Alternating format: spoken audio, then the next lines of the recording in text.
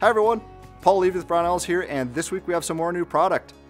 First up, from Aero Precision, we have a 300 blackout, 7.5 inch pistol. You purchase it just like this, it doesn't have any extra stuff that you're just gonna swap out later.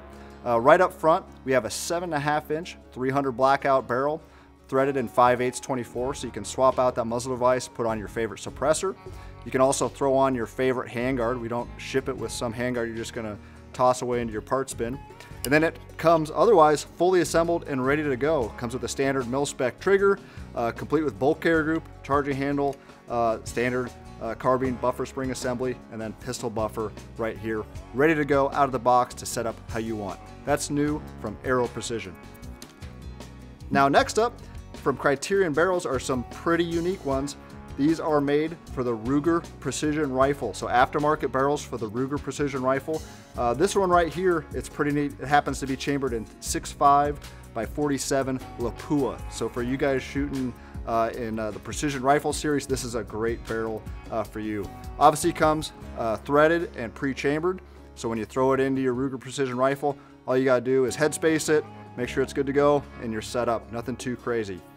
Uh, they all come with 5 8 by 24 uh, muzzle threads, so you can put on your favorite muzzle device, including suppressors, and you can go from there. Uh, they are all stainless steel. This one happens to have a 1 and 8, one and eight uh, twist. They're all beautifully engraved right there. Uh, they're available in a few different configurations. This one right here happens to be in 6 millimeter Creedmoor. We'll also have them in 6.5 Creedmoor. That's new from Criterion Barrels.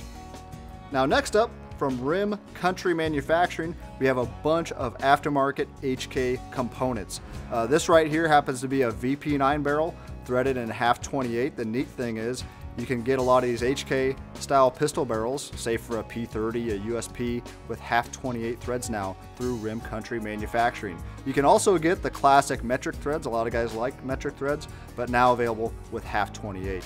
Uh, otherwise, standard features on these Nice uh, nitride finish on these barrels. They're drop in, ready to go out of the box. Then also from Rim Country, we've got a few uh, really unique uh, components that are hard to find straight from HK. We've got locking pieces. Uh, locking piece basically controls how that gun actually unlocks uh, after fired. This happens to be for an MP5. You may want to swap these out, especially if you're running suppressed. Uh, not so important on the MP5, although you'll probably want to if you find your gun isn't running suppressed. Uh, especially important on your G3 or PTR 91. This one right here happens to be for a uh, G3 style rifle.